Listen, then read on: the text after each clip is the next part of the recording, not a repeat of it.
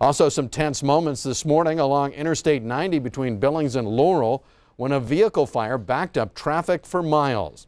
It happened just after 10 a.m. Look at this uh, picture sent to us from a Q2 viewer today as a pickup truck caught fire, bringing all westbound traffic to a halt.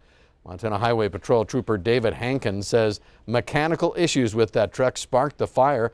It was a 2012 Dodge Ram pickup, but complicating the situation, fireworks that were inside the truck that fueled the flames and then helped spark a small brush fire in the median.